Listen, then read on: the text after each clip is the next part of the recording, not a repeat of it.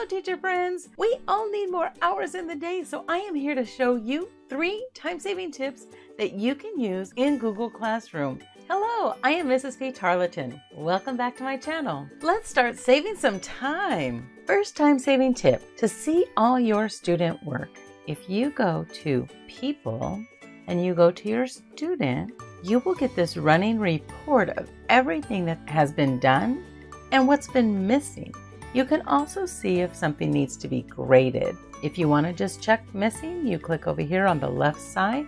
You can see what's missing, things that have been returned to the students, things that the students have turned in and not yet graded. And if you click on that item, you can actually go in and grade it. The next tip I want to show you is how to reuse assignments that you've already used. So if your assignments have basically the same general directions, you can reuse those posts over and over and just make minor edits. It saves so much time. Go to classwork. When you're going to create, go to reuse.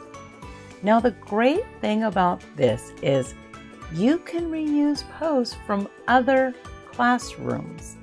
So other classrooms that you are a part of, you go back arrow here and you can see all of the classrooms that you manage or that you're in charge of. And you can reuse posts there. So let me give you a pro tip about that. What I like to do, much like this demonstration class, I have a class that I'm preparing already for the 22-23 school year and I start planning out my agenda and I'm already creating my assignments in my planning class. And as I go through, I add it first week, I add exactly what I'm going to do. I put in all the links. So at the beginning of the school year, when I go into my new class, I go to classwork, create, and then I go down to reuse. You go up here to this arrow and you can actually choose the class that you want to pull from. So I've already created my first lesson for the first day. I click on it, press reuse, and it uploads immediately to my demonstration class where I'm showing you how to do this. The it shows the week, it keeps everything the same. I already had set it up to make a copy for each student.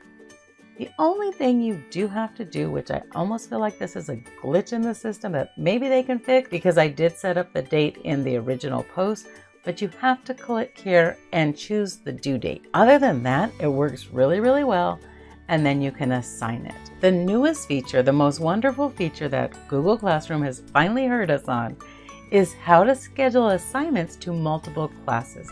Go ahead, create your assignment, go here. Under 4, you click the classes that you want it to be assigned to or scheduled to, and then you go to the drop-down arrow and click Schedule. And you will get this screen that pops up. Now, don't do the mistake that I was doing and clicking on each and every one of these individually. No, you set the first one for the date and the time that you want and the topic, and then you want to copy your settings and it will copy them, see, to all the others. I don't know about you, but I teach five classes. That was a lot of clicking I was doing until I figured that out. And then I just go through here and I just set the date and the time that I want it to publish to each and every class. Because I teach different periods, this is so beneficial and click schedule. It will automatically push this out to each of your classes at the proper time. Hope you found this video helpful. If you need more tips and tricks for Google Classroom, check out one of these videos. I'll see you there.